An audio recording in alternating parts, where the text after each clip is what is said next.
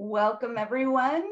We're on our on our the downhill slide. So the last couple of days of the of the conference, the rest of today and tomorrow. I'm excited to have you here.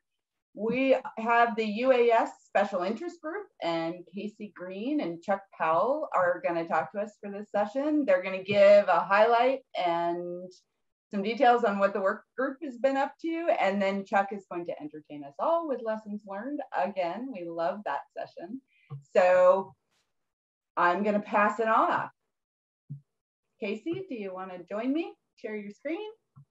Hello, hello everyone. Um, we're so glad to present and uh, talk about what we've done thus far with 2021. Um, Chuck and I are excited and really thrilled about what we've done with the UAS work group. So that said, um, I'm going to pass it to my my partner in crime, Chuck.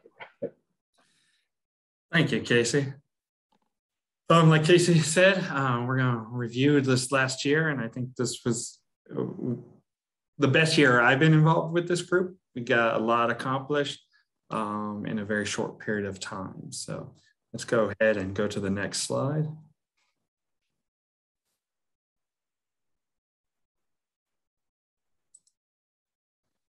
Kasey, can you hit the next slide? Oh, I'm sorry.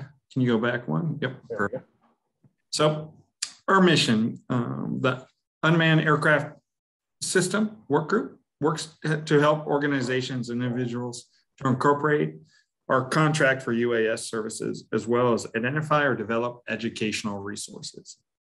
Um, develop guidelines for using UAS for geospatial data collection and post-processing to produce relevant data sets. And our last two fly-ins uh, were great examples of, of, of, those useful guidelines that we've shared or, or, or had other groups um, share with us um, UAS compliance with the FAA and other requirements.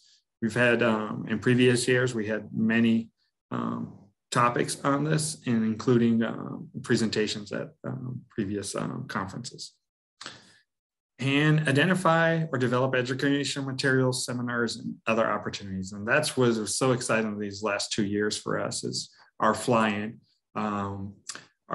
this last year was our, our in-person um, hybrid event and it went out great. Kasey's going to show the highlight film of that um, coming up. Go ahead and do the next slide. Like any, any of the groups at AGIC, what makes AGIC special is the people, the community. Um, and I am so proud of this community um, and uh, especially the UAS community. We're from all walks of life, all all sectors, um, private, state, and these are just the numbers of people who who have, um, are members, voting members, and public at large that attended since January of this year. Um, state and private uh, make up about 50%. Um, the rest, we have county, tribal, um, trade associations, um, military, law enforcement, federal governments, um, education, county and city. Um, so I'm very proud of that fact that we're a very diverse group and, and it's great to get everyone's perspective. Go ahead and do the next slide, Kasey. Where, where are we? Where did where do we live and work? Go ahead and click one more time, Kasey. Um, so we we're covering most of the state. Um, we'd love to fill in those few counties. Um, I think we're just over 50% of the counties. Um, so we'd love to get the last, um, I think, seven counties um, involved. So if you're out there in these counties, we would love to have you. Or even if you're in one of the, the shaded counties, we would love to have you add to our group. Um, we're a really great group and um, we have some interesting topics um, every other month, and then our, our, the other month we're trying to um, work on our our mission. So our geo or our landing page on um, AZGeo, um, our outreach, and um, getting content up on the the landing page. So we'd love to have anyone join us. Um, and definitely we want everyone that has supported us this last year to continue supporting us and, and work with us. Go ahead and do the next slide. One more click, Kasey. So these are all the organizations that have um, attended our meetings this last year or since January. I'm sorry. Um, and hopefully I didn't miss anyone that, um, as you can see, we're a very diverse group, not just the, the sectors we're in that, uh, of the organizations that we're part of. And we have to give thanks to these organizations. They allow us the time um, to volunteer. Um, so without them, uh, we wouldn't, AGIC wouldn't be who they are. Um, so we should give a thank to all the organizations that have supported us um, these last couple years, and especially this year. Mm -hmm. Our, our, first, our goal in our, in our work plan is um, USA, U, I'm sorry, UAS Technology Information and Exchange and Best Practices. Um, develop and maintain a, a, UAS section on the AGIC website, which we are, correct me if I'm wrong, glad to announce that our landing page on AZGeo is live. Correct, Kasey? That is correct. Perfect. So we worked really hard. Um, we have to give a shout out to Kasey and Tony and Jenna um, to help develop and um, put the get that up and run. Um, like I said, is uh, these are all the all the volunteers are using their own time um, in, in supporting this, and it does take extra effort to get get these um, platforms up and running and these goals out there completed. Um, so on that web page, we're trying to put all our um, documentation, our, our goals of best practices, guidelines, and so forth on there. Um, so we're trying to get that up on the landing page. Um, we would love for you to go out and after uh, Kasey um, demos it, you know, come out, look at it, and get back to us and see what you would like added um, to that that landing page. Um, we'd like to work with other UAS experts um, about solutions and best practices and example projects.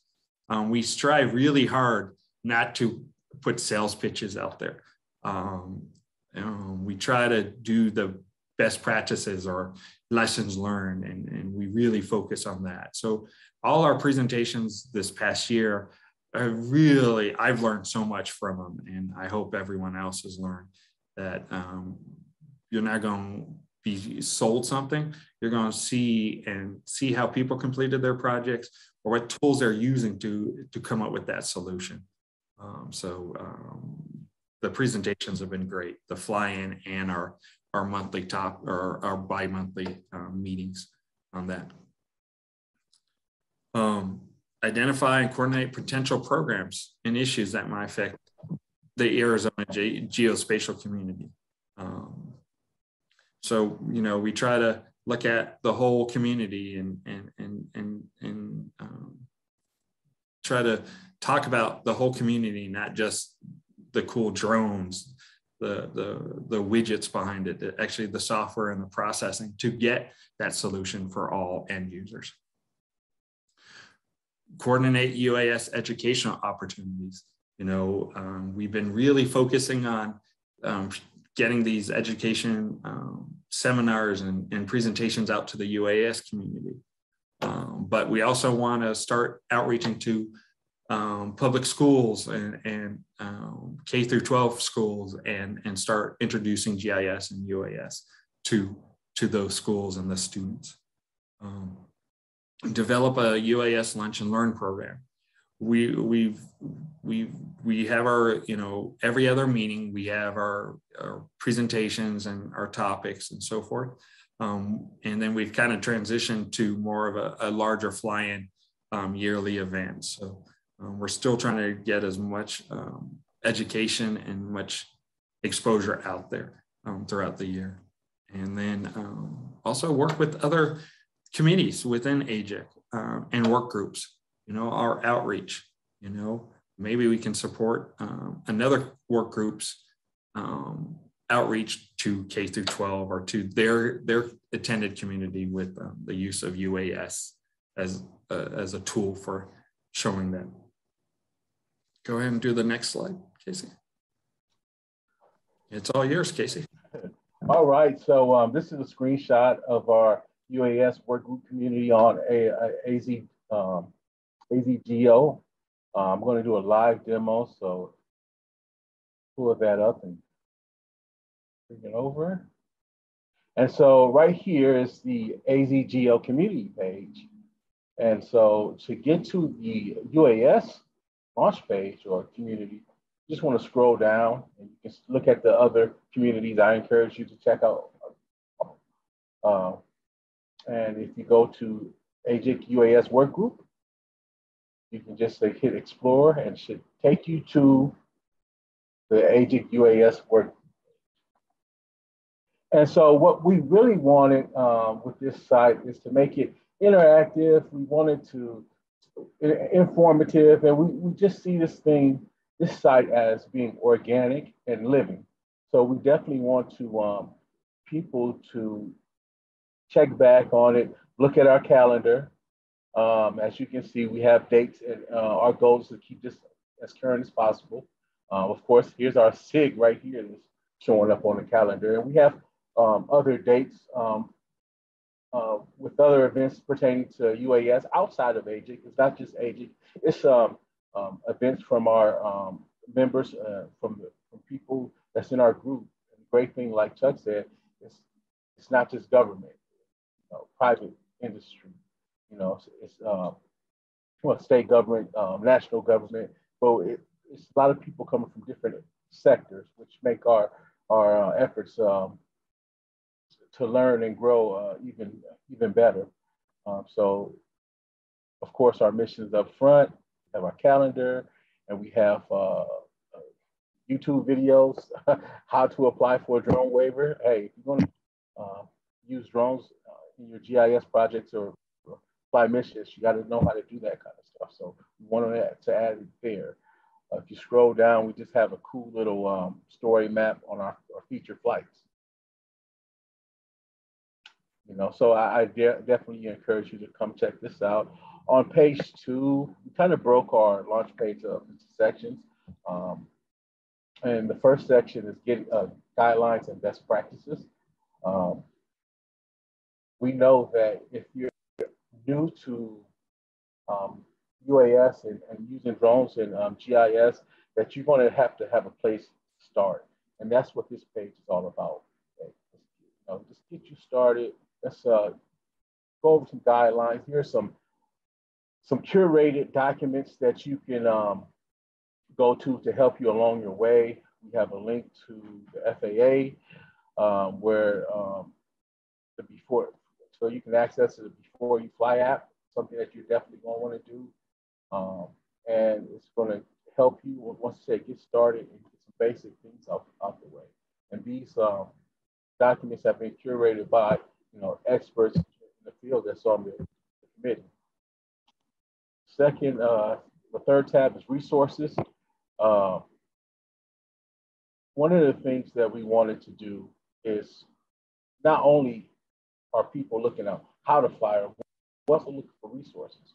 Um, right here is a, you can search UAS resources here in open data. So people who've flown or UAS content, you can go here and uh, like the AGIC search, uh, geo search, you can find data, documents, and apps uh, right at your fingertips.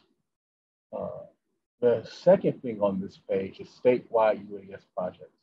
This is an app that we created so people can come to our launch page and document what they've flown and share it with the overall community. community. Um, one of the purposes of this, first of all, to share data eventually. Eventually, we see this launch page as a, as a warehouse for UAS flight data. So people won't uh, have to fly the same area. If someone has already flown and if their parameters are, are, are correct, um, that same data can be used for someone else. And uh, Experience Builder uh, application will help people document. So we're really excited about that. Um, you go here, fill out the form, um, and you can um, draw a polygon of the, of the area that you're flying in. It's showing the map and the community now is aware of uh, the work you're doing uh, with uh, UAS. And then also connected by drones, we wanted to add their site. We have some people that volunteer with this organization. And so it's they have, have a, a lot of um, a lot of information. They're uh, in partnership with the FAA, so uh, we there's a lot of resources and events and training that we want people to be aware of. So we add that to our resources. Our last page is training. Um, training is just so important. Um, we're flying and um, on here we have the U, our, our UAS uh, flying-ins.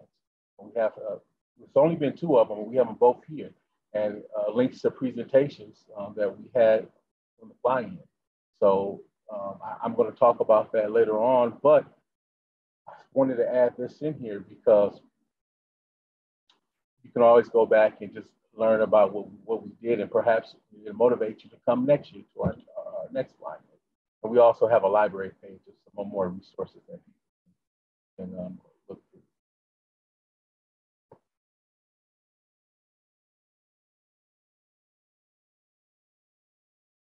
So Chuck, I'm gonna hand it back to you so you can talk about uh, goal number two.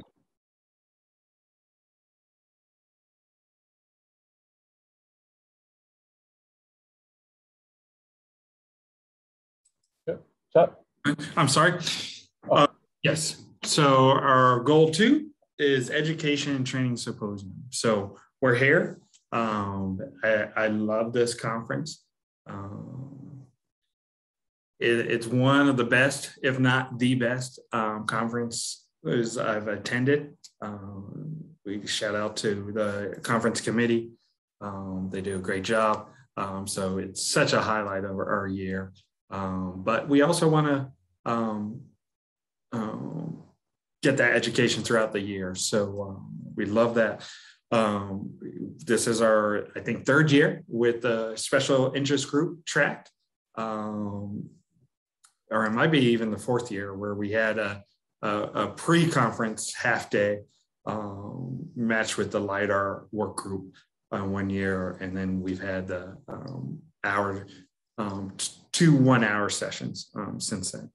Um, our still our, our focus is on geospatial output um, from UAS. Um, so we're we're still the GIS component of UAS. So um, all our presentations try to have that GIS um, functionality in there. Um, we've worked really hard to get presenters. Um, Jenna reached out this year and, and got um, Esri and I believe Sant um, to present um, um, our workshops and our demonstrations throughout the year. And, and, and it's a total team effort. You hear Kasey and my voice all the time, but it is a total team effort. The whole UAS um, work group is, is tremendous and, and volunteering their time and getting things accomplished in a very short, short period of time. Um, we work with uh, the conference committee to make sure we fill and advertise our, our special interest group. Um, and then um, we're trying to look for additional opportunities outside the symposium. Um, we, have, we have a tradition and um, tradition of the um, fly-in now. I, I, think I think um, uh, we are going to keep that going. Uh, I would hope we do. I think they've been both very successful. Um, and hopefully um, next year again we'll have it in person um, completely in person somewhere where the whole work group and the whole uas gis community can get together go ahead and do the next slide Kasey it's all yours again Kasey okay the flying recap uh, once again this was held on November 15th um, down in tucson um, at WestLand Resources uh, it, they were a great host. Can't take, thank uh, Chuck and WestLand enough um, for having it there. It was a beautiful day. Um, and we just had a, really solid event. It was really great, a lot of learning.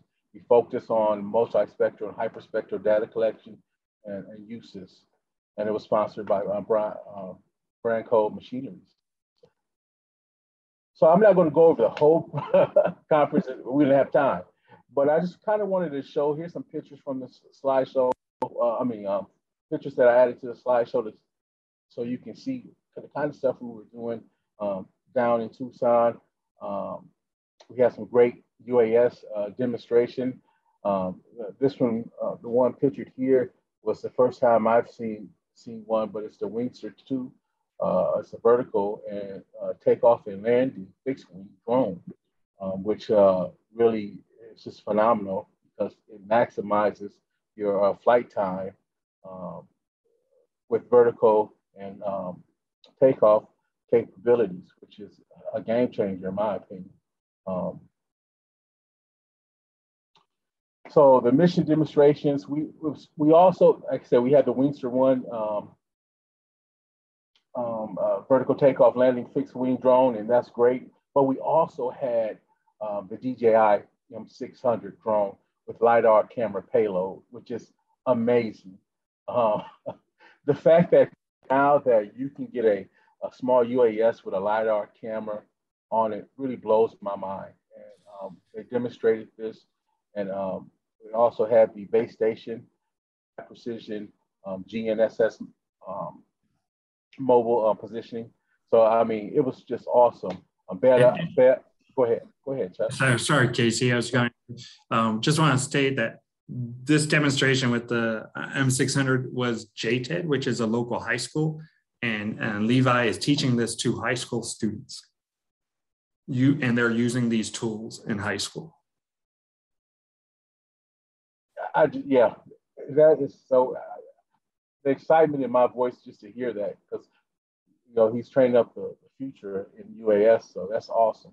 Um, Bad Elf, uh, uh, we had a Bad Elf precision control point positioning. I, I know Chuck uses this uh, probably every time he goes out, but it's just a great device for um, um, getting your control points, which are so important when you're um, flying a UAS mission half the day was pretty much us witnessing these um, technologies out in the field. So that's what makes it so special because you're out, you're hands-on with the equipment, and you're you're getting firsthand um, knowledge of how uh, people are using uh, these uh, this UAS uh, equipment, and also um, your control point equipment also. So the presentations, um, the first Bad Elf a presentation um, was was getting control of your ground control, and um, we went over planning and preparation, um, GCPs, and, and, working with GNSS. It was uh, um, definitely a, a, great presentation. Just so it was full of a wealth of knowledge of how to really set those ground uh, control points. Um, the Wingtra uh, Gen 2 product review, of course, and then we actually um, had a presentation by Green Zone um, to cover the processing of multispectral data. And um, their project was on vegetation mapping on the lower Salt River. Uh, it's a re restoration project.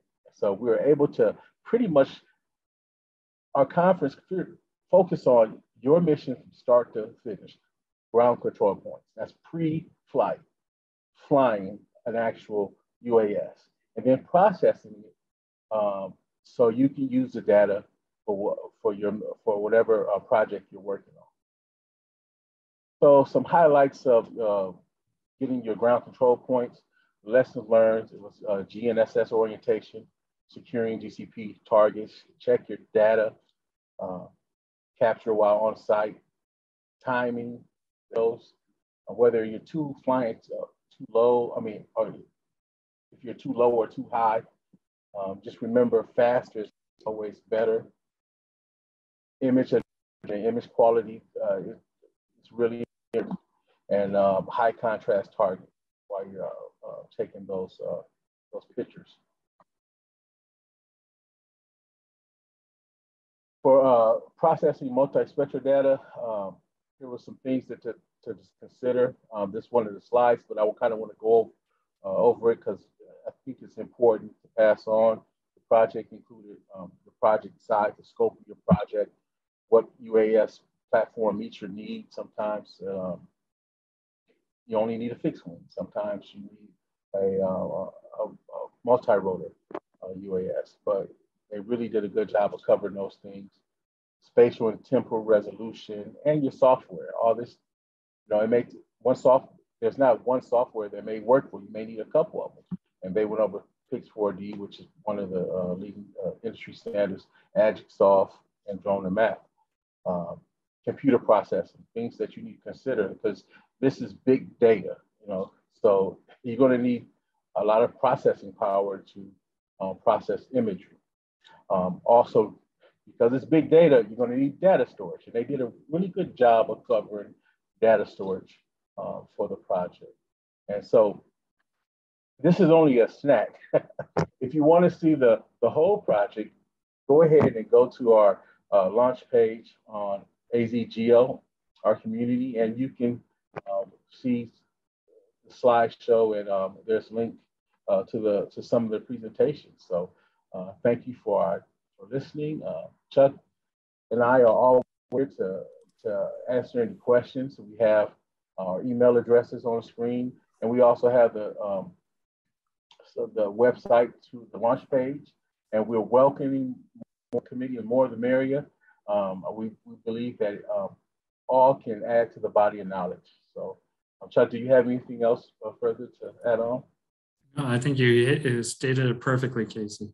Um, we hope to see you next Wednesday at our next meeting. That was awesome, guys. So there are some questions. Um, one of them I took the liberty and answered in the chat for you. Uh, one was about the Wingtra and who who was the folks that demoed that. Um, so I shared that it was Bronco Machinery and and his friends. Um, uh, so, I'm sorry, Jenna. Um, Darling, um, Darling Geomatics. Um, it was theirs that did the live demo. Um, okay. Okay. So um, Darling, Darling has um, a Wingtra here in Tucson. Thanks for that correction, Chuck. That's excellent. No problem.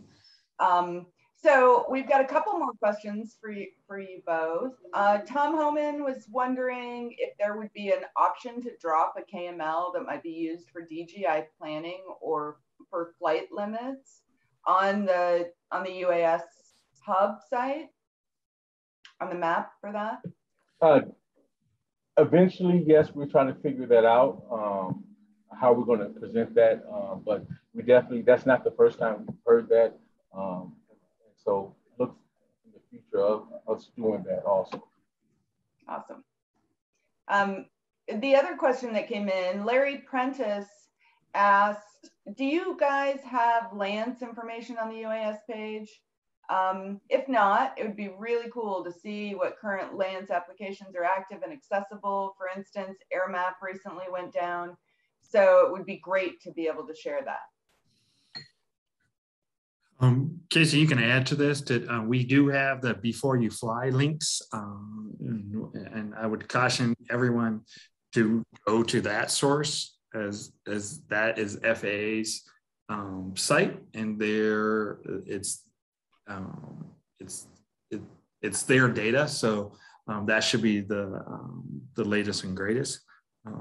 But uh, if there's additional layers uh, we can add to our our map, we would love to add those and look at all options. Um, but I would still um, caution everyone to always check before you fly because um, that's authoritative um, site for um, airspace. Yeah, um, and if I could I put this back on the screen, if on here, if you just go here and use this, it does have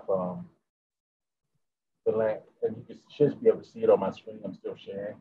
Um, right there. So if you can, there is a link where you can get before you fly and have link information.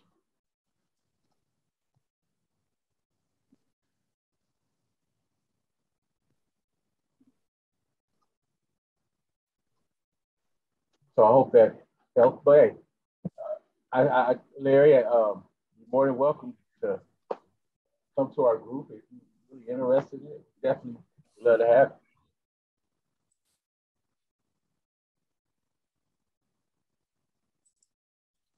thanks, guys. It looks like we're in good shape. So, Chuck, I think you get to take it away. Okay, sounds good.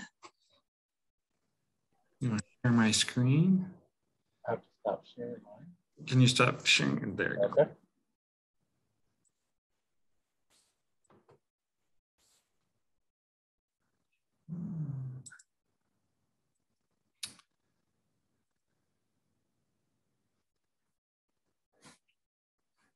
2021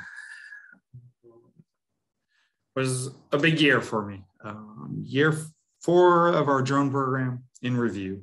Same places, different faces. We've had some big changes at WestLand. Um, we just opened an office in Washington and Oregon, and we purchased an um, environmental consulting firm out of Reno, Nevada. Um, in the same year, we've reorganized geomatics. Uh, at one point, um, GIS, UAS, and um, survey was under one um, group, under one director. Um, they have now since moved um, survey under engineering, and UAS is transitioned into GIS. and uh, GIS is its own department with a new director that affected me um, and my group. Uh, we had so at the beginning, um, at the middle of um, 2020, uh, we had a grand total of five um, Part 107 pilots.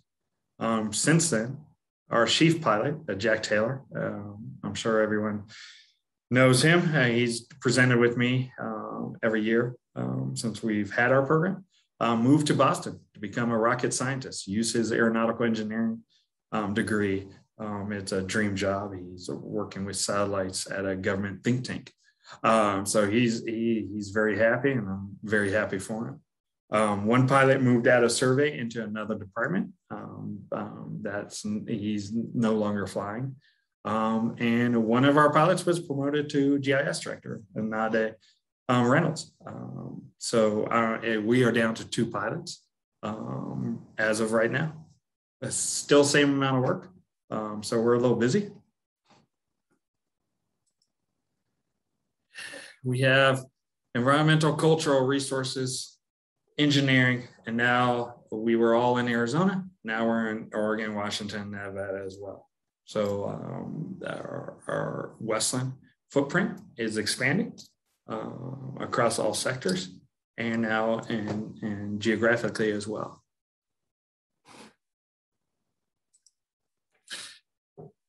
Let's look back at our ground range, and this can't be a WestLand presentation without a video of me crashing. Um, Kasey, um, I think this is Kasey's highlights. Um, so um, I have not had a spectacular crash like this in a while. Um, so, and yes, that's me throwing the cumulus. Um, this year, um, we trying to navigate the FAA regulations. We were new to it, and our group, our company was very new to it. Um, so communicating where and when and how we can fly to project managers was a big hurdle for us.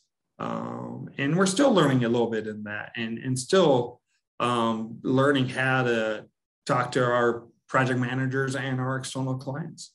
Um, software selection technology is still changing. And, and, and, and at the beginning, we were trying to figure out what software did we want to use, cloud-based versus in-house and, and so forth, or a combination of those both. Um, managing our flight areas. How, how, how can we um, fly this project? How many flights would it take? What aircraft to use and so forth. Control and this is a hot topic. How many GCP, how many ground control points do you, you need? Well, it depends on your deliverable and what, what, what are you producing? Are you producing an electronic um, model um, to be used on a web, or are you presenting a, a surface for an engineer? Are you presenting a paper map? Um, there's a lot of things that go into that. So um, we've learned quite a bit. Um, but each project area is a little different and we have to relearn and, and, and, and take new things into account. Second year, um, uh, a better checklist. Um, you know, our checklists, we consider them living documents um, where they change over time. Um, when a new incident or a new problem arises, um, we want to make sure we're accounted for that and prepare for that. Um, so we adjust our checklist. Um, as you can tell, um, sometimes we need more practice runs or more um, more training and more real life situations um, when uh, uh, we're doing it. At this time, we needed a more durable aircraft. That that aircraft that you saw in the video was carbon fiber. Carbon fiber does not bounce. Um, so you know, we at this time, this was year two. We were looking or I'm sorry, yeah, year two, we were looking at different um, aircraft. Um, the, the big thing we learned um, from our first fixed wing to our second fixed wing is the flight software. You know, make sure you look at all aspects of an aircraft, um, not just, you know, the specs of the aircraft, how far it can fly, how high it can go, um, battery life, storage capacity, um, sensors but how easy is it to use um, in actual field environments? Um, is your screen sufficient to work in bright sunlight? Um, does your aircraft have requirements that might not be well suited for Arizona? We have a lot of sun, a lot of heat. You know, think about all that. It's a, a complete package. Um, we found out faster turnaround if you can get the aircraft back up faster it, it, it's more efficient for us at WestLand than longer flights um, so look at that what is the procedure what is the pre-flight procedure what is the um, you know requirements to load missions can you preload them all the mission blocks or do you have to um, clear it, and then uh, move and then add another one. Weather limitations, you know, we're always fighting that sun here in Arizona, that heat. Um, in the summer, uh, your your window to fly is very is is shortened so much, um, where you might be only can fly an hour or that. So you know, having your pre-flight check checks going and being efficient at that so you can you can capitalize on that whole window um, is really important. Um, my current aircraft the eBee at 95 degrees we don't fly. Anything past 95 degrees we don't fly. Well how high is the sun at 95 degrees in the middle of july? So you know we have to have that that nice sun angle um, so we're not getting the shadows and so forth so we have to do that as many of you know, we've had a couple hawk attacks, especially on our fixed wing, um, managing and avoiding that. Um, being careful, making sure we're noticing um, nest and stuff. When is nesting season for different um, raptors and different birds? Um, which birds are aggressive for their territory? Knowing that um, and knowing what to do when that happens. What is your mitigation plan? Um, what is your mitigation plan for that incident? Having that rehearsed, having that documented, having that as a SOP has been huge for us. Understanding the results. You know, why, when you process your data, why are you getting this error? Um, could you track it back? Um, we have certain procedures and certain checklists on our are we use Pix4D, um, but Drone2Map and I believe Agisoft all give similar quality reports. Learn and, and learn how to read those and interpret those uh, quality reports. Um, they will help tremendously in the post processing and avoiding um, future issues. We, um, we all know a drone collects a tremendous amount of data very quickly, but it's not perfect.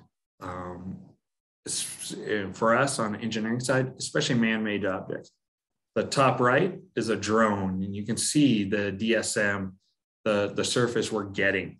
Um, it does not like sharp angles and those those really tight angles. Um, we we've supplemented and, and, and combined mobile lidar, which is on the um, bottom right, it's getting that nice, crisp lidar uh, point cloud, and under the vegetation, we're getting that that data. Um, and on the left the, um, is the combined data. So we're combining the aerial, drone imagery, and all the photo- uh, photography we're getting from that, that's supplementing it on areas that we know the drone isn't its best. And, and we're combining those. Um, it, it, it, it, has been tremendously successful on our, our engineering side of, uh, of our program. So we are we are currently reorganizing um, and figuring out how we can support these new offices, all sectors. Um, we're still not sure yet, but we're we're starting the process. So we're looking at the whole program and, and seeing where we can improve and being honest with ourselves and seeing what didn't work and what works. Um, so eBee has been amazing. We're at 145 takeoffs and not so soft landings on this airframe. Um, it's been such a great aircraft. Covers a large area, multiple options on payload. So we have um, both our RGB camera um, that we can uh, do um, landscape or portrait. So if we're doing a utility corridor, we can switch that camera around and be more efficient on our flights, less flight lines because um, we're, we're collecting um, a, portrait image instead of a landscape image. We have our Sequoia multispectral for our, our vegetation analysis on a lot of our long our long-term mitigation programs. It does require more training um, than our other aircraft. Um, it's it's expensive. It's more expensive than our Phantom, and it's more stressful. Um, you only have to be really good at launching it. That's um, after you set the mission planning, you, you toss it. That's the only thing you can control once that motor turns on is that, that toss, unless you tell it to come back and land. Um, but you have to have a, a, a landing spot. You have to pick your landing spot. You have to pick your path to land. Um, it's not like a multi-rotor where you just come down on one spot. So it is more stressful um, flying. Our Phantom is our workhorse. And this really surprised me. We've used the Phantom probably three to one over our eBee. Um, I, I didn't think we were going to fly as many projects with the Phantom as we do. Um, uh, a lot of this is, is um, marketing and videos and, and trying to depict um, the landscape or the setting to clients or to agencies. Um, so we do a lot of that, which really surprised me. It requires less training. Um, people are more familiar with this product. The DJI products are the go-to for recreational users, at least in in in our our community or our employees that have drones. Um, I think I don't think anyone else has any other brand. Um, it's definitely less expensive, um, but it's a single option payload.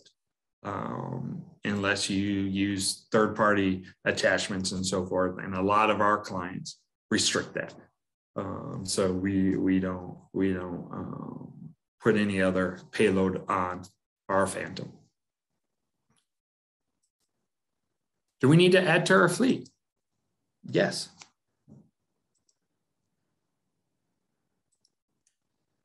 Um, we might get to a point where we treat the aircraft as another our toolbox, where um, any any group in, within WestLand has ability to utilize this tool. Um, so that's how we're looking at reorganizing the, the WestLand UAS program. Turn the subject experts into pilots instead of the other way around. Um, this is kind of uh, turning 180 degrees. When we first started the program, we we picked very specific people to fly, um, and they either came out of the GIS group or the survey group, and we said these are our pilots, which turned which is great for the first couple years, but we spent more time training those pilots what the other groups were looking for. When a cultural resource comes up and, and they want to get some oblique pictures of, of rock shelters or, or pit houses or a botanist, I want to go in and identify these type of plants. Well, we had to train them on what those were, what type of plants they were, you know, what were the archaeologists looking for. So now we're looking at identifying people within those sectors and training them to be pilots. So um, our first step is we're, we're currently meeting with each sector and each location and, and, and reintroducing um, the technology and the current tools. Um, and we're also meeting with key leadership at the company and identifying our needs and our wants. Oh, what has surprised me, um, like I said, is the phantom or workers. That really surprised me, and and and the usefulness of known photography um, is really huge when we're trying to get those kind of marketing shots, those oblique shots that are are, are standalone um, illustrations or, or pictures and reports. Um, we want someone that are interested in photography in the US and also accept new technology. And, and most importantly, even temper personality. Um, it, it, when you're flying, things can go wrong, and we want to make sure you're you're even killed and you understand the procedures and, and our SOPs. So um, those are kind of the traits we're looking for. Um, we want at least one Phantom 4 at each office um, and probably more. Um, but uh, right now, a minimum of one Phantom um, um, Pro uh, 4 at each office. Um, we're looking at this, uh, the Phantom 4 multispectral. Um, like I said, um, our Phantom is a single payload. Um, and we do, um, if we're flying the eBee, I would say it's about two times um, to one that we're flying with our multispectral images. Um, so if we get another multispectral uh, aircraft, um, we're looking at this one. Um, it's easier to train. Um, uh, as the DJI is widely used by both professionals and recreation users. Um, we have a lot of um, environmental and cultural resource staff that have DJI drones, the Mavic um, and the Phantom series. Um, it, it's it's more flexible and rugged terrain, um, where we fly uh, yearly, twice a year. We're flying uh, uh, down Mineral Creek and Devil's Canyon outside Superior um, on the rims. They are not. They do not have a nice grassy landing zone. We're landing in the desert and it is um, pretty um, pretty rough landings. Um, so having the ability to fly uh, a, a multi-rotor um, where we can throw it in a backpack and and hike the rim and take off anywhere. It will add more flights, but we believe it will be safer and more efficient. it's easier to carry in the field. We can throw it in a backpack. Uh, our, our fixed wing um, comes with a large case and needs a computer um, and all that. So um, the other ability too is, is, to collect data in a timely fashion. Um, when we fly, uh, we have to schedule it out. Oh, it takes us, you know, a couple hours to get to the site. We fly for an hour, we drive back, and so forth. If this was in in someone's backpack or in someone's vehicle, um, doing a, a, native plant inventory, they can go up, fly in that that same hour, maybe a little longer because it's a, it's a multi-rotor in that two hours. Um, that still saves time and more efficient. They can collect the data the same day they're field collecting. Um, so it gives us that ability. The other nice thing on this one, it, it's similar to the, the Sequoia. It has a sunshine sensor. It has those individual bands. This one includes the blue band, which um, I love the green drone um, presentation at the uh, fly-in. um, is the blue band has been very helpful in invasive species and other plant identification or classification. So having that that single blue band um, will help us in the future. Um, with the sequoia, you don't have that blue band. You get um, red, green, near infrared, and red edge. Um, so this adds an extra band um, on it. So our current status, so we do have budget approval for new aircraft. Uh, we're currently developing new um, training SOP with an increased focus on flying for video and still photos, just general photography, and um, other apps that were looked at that um, um other um, people have used um, for their videos, especially on the video side. Um, the other thing that um, that we've adjusted is, our stringent restrictions on weather, time of flight, total hours of work a week, um, including driving time, logging maintenance and incidents. Um, um, trying to get rid of that gray area. Um, it's already stressful enough flying, um, but let's let's restrict those areas uh, and make it less stressful on the, the pilot. Um, so we're trying to do that. Um, the logging and maintenance and incidents, um, we get audited every year um, by a third party um, for our client. Um, and the one thing we got dinged on last year was not recording when we uh, logging when we re- replace rubber bands on our on our aircraft. So we log we have a, a more strict logging um, of our maintenance and any incident. Um, in meeting, we're like I said, we're currently meeting um, with um, location leadership to get them up to speed for current tools. These are new employees um, and they're not familiar with us and our tools. Um, and we currently identified three biologists that we have started training with that's what I have. Um, um, so any questions? Thanks, Chuck. There are no questions from the group. You have been incredibly thorough. I do have, I have a question though. I mean, even though I'm not in the group, um, but I do have a question for you, Chuck. Yes. Um, and before you ask, for, or Kasey, I destroyed all other videos of me crashing. Okay. you know, I always love that. But um, just your logging methods for your um, for your um, like, how do you log your um, use uh, methods? Is it something where you use a software, or is it something on spreadsheets? What's what method do you use to you know keep a record of your maintenance, or like you said, you got dinged on your your um, changing rubber bands on your um, uh, eBee. Yep. So how do you log that now? Yeah, so we use Survey123. We've created a custom checklist for each aircraft. Um, we have a in office, um, uh, in office, a pre-flight, um, flight, and post-flight um, Survey123 form um, that we log everything in.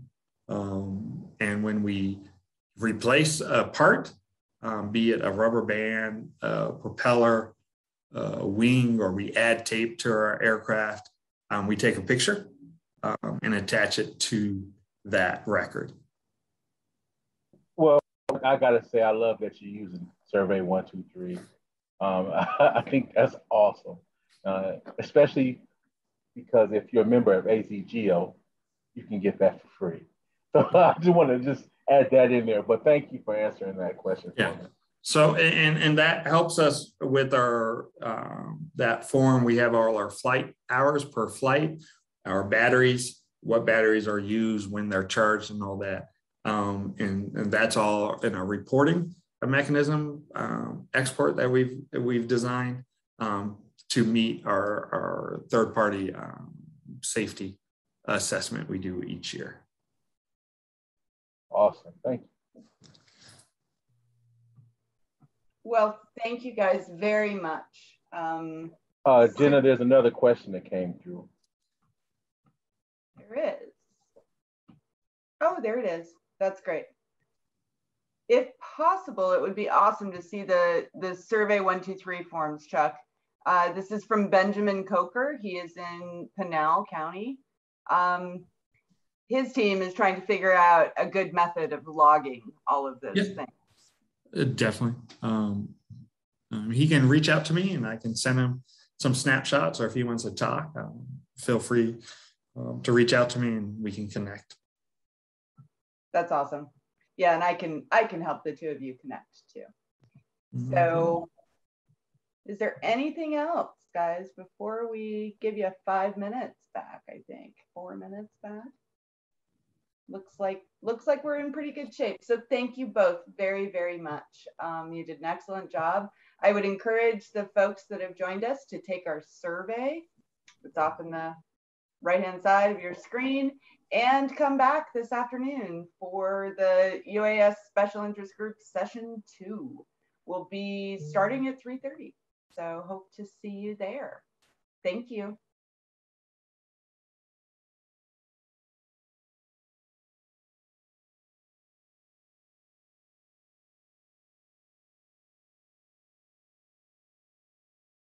Great presentation, Chuck. Are we still live?